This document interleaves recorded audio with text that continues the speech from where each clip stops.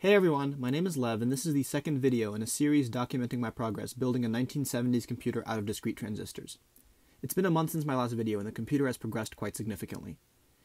So far, I've only finished the program counter and the stack pointer.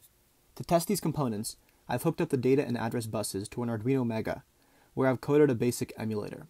Essentially, the Arduino is pretending to be the rest of the computer, so it simulates the ALU, the registers, the memory, etc. I wrote a little assembly program to perform division, so let's see how that works. First, I'll hook up the Arduino to the serial port of my laptop, and then once we connect power, it starts printing text. I'll enter in a precision of 10 decimal places and we're ready to divide. Let's compute the fraction 355 over 113, which is one of the convergents to pi. As you can see, the fraction is accurate up to 6 decimal places. Let me try getting more precision. I'll restart the program and enter in a precision of 100 decimal places.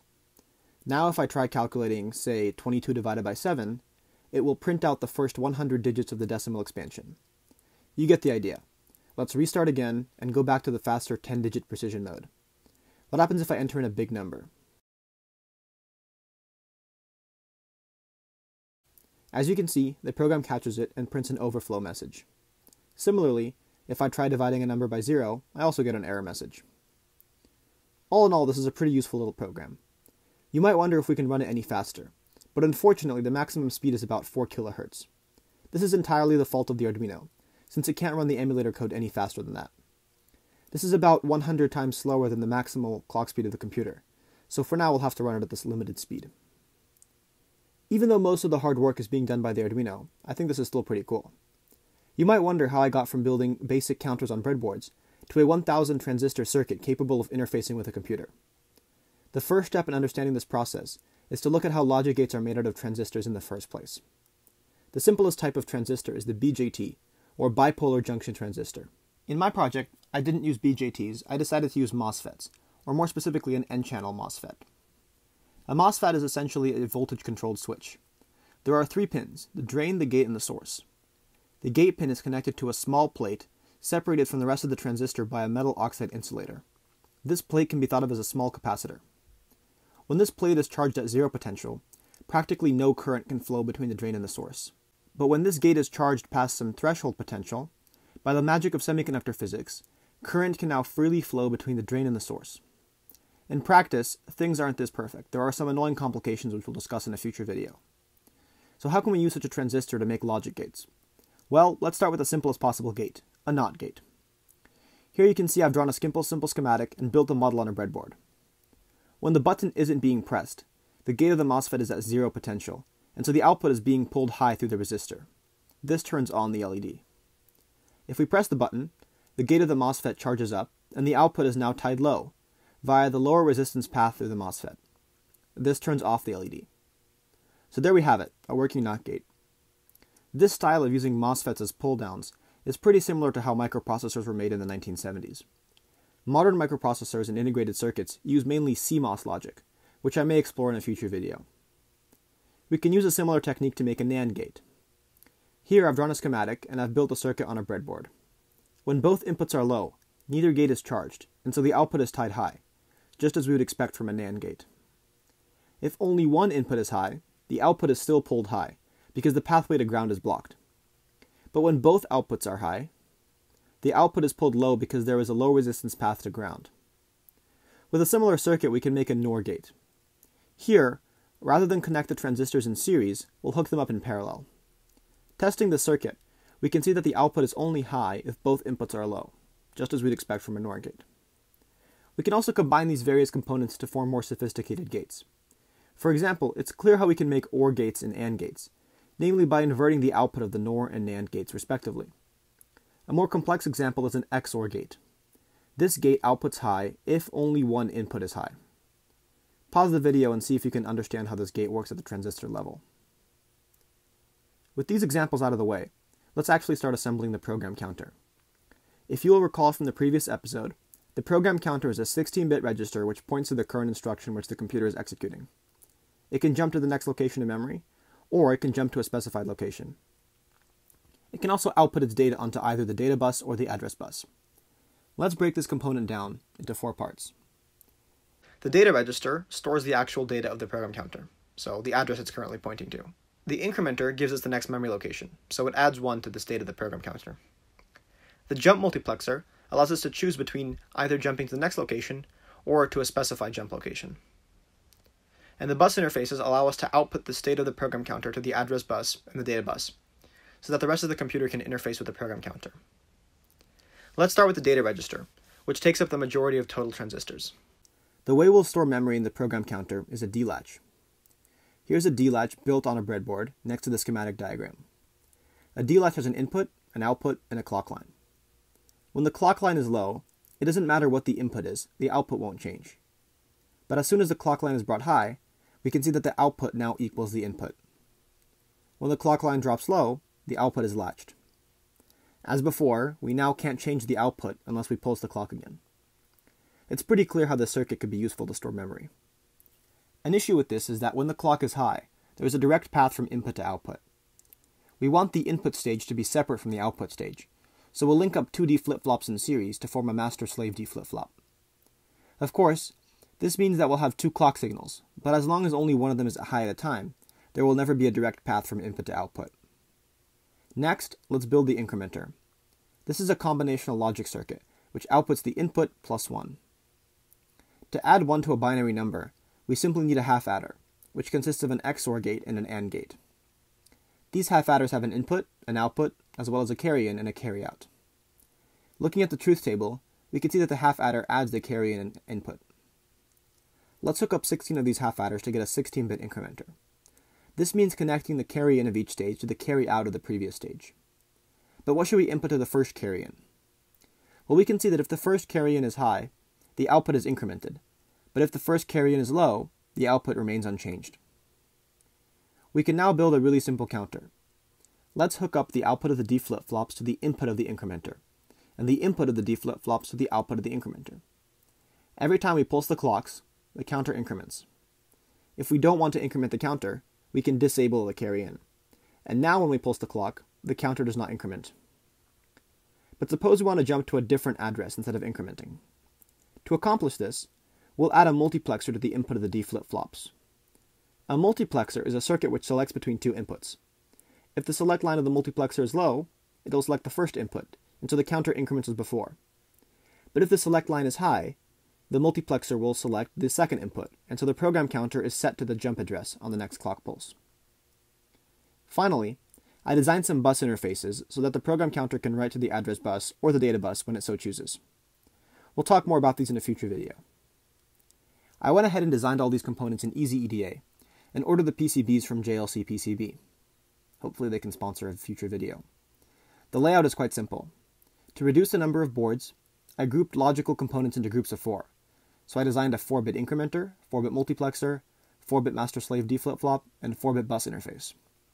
I also added a separate LED line so that I could control the brightness of the LEDs using a PWM signal.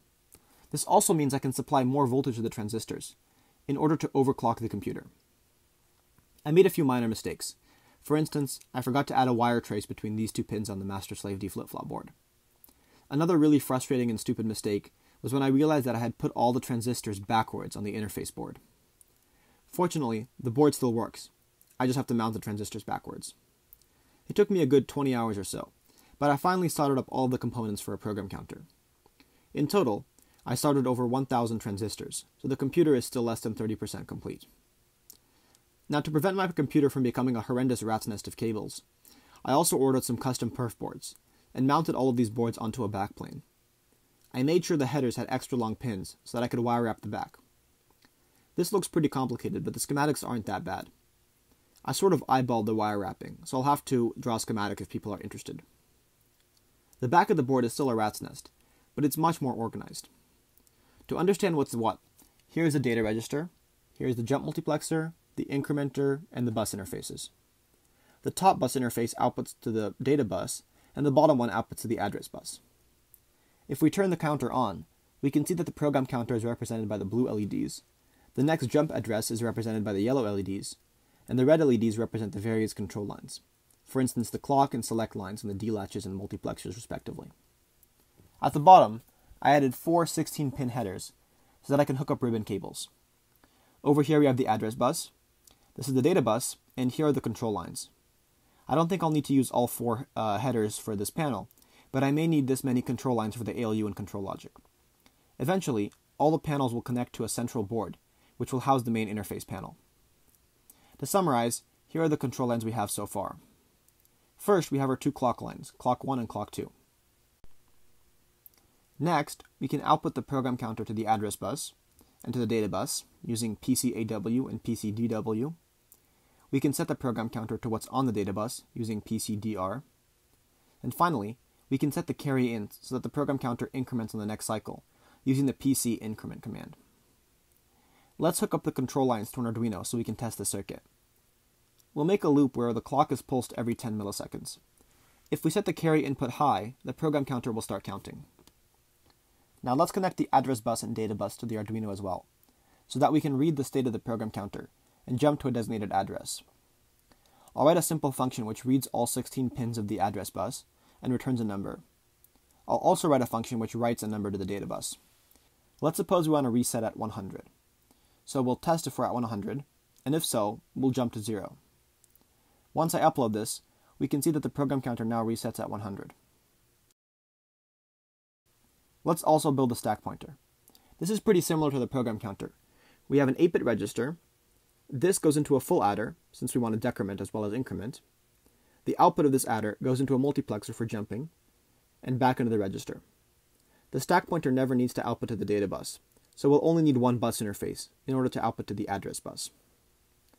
I went ahead and soldered the boards up and added them to the backplane.